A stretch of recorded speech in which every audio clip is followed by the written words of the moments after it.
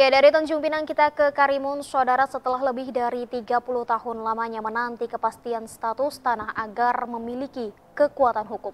Ratusan masyarakat di Pulau Kambing, tepatnya di Gang Perdamaian RT 01 RW 02, 02 Kelurahan Sungai Lakam Barat, Kecamatan Karimun, kini bisa memiliki sertifikat tanah.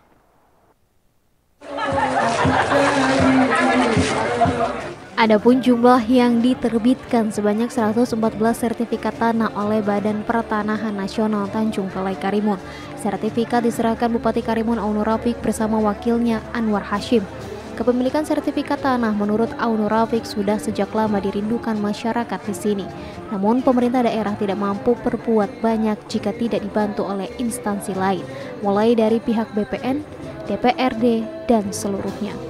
Alnur Rafiq juga mengucapkan terima kasih dan apresiasi kepada Komisi 1 DPRD Kabupaten Karimun yang dinilai serius dalam hal ikut memfasilitasi apa yang menjadi keluhan masyarakat. Proses dilalui sejak dari rapat dengar pendapat di DPRD Karimun sampai pada akhirnya masyarakat bisa menikmati haknya sendiri saat ini.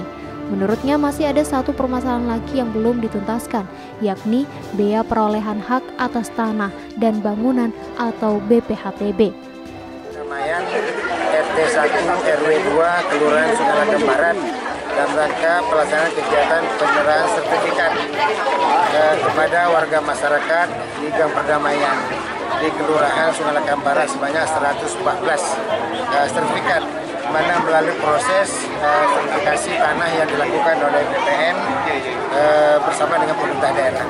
Untuk hal itu saya atas nama pemerintah Kabupaten Karimun pertama mengucapkan terima kasih penghargaan sertifikatnya kepada BPN yang secara uh, secara kontinu membahas tentang permasalahan tanah yang ada di berbagai wilayah di Kabupaten Karimun termasuk pada hari ini di Kelurahan Sementara itu, Kepala BPN Tanjung Balai Karimun Junaidi Hutasoid menyebutkan penyerahan sertifikat tanah bagi masyarakat di Gang Perdamaian merupakan momen yang ditunggu-tunggu. Kurang lebih 30 tahun warga di sini belum memiliki kejelasan atas tanah yang ditempati. Di Sungai Lakam Barat ini sejumlah 114. Khusus untuk di RT 01 ini ada 94. Tadi simbolis kita sudah serahkan 6 dan ini akan diserahkan nanti sisanya sampai setelah Jumatan. Ini adalah uh, proses sertifikasi yang cukup lama selama 30 tahun lebih dan alhamdulillah hari ini kita kita selesaikan dan mudah-mudahan di tempat-tempat yang lain juga yang kurang lebih permasalahannya sama kita bisa selesaikan.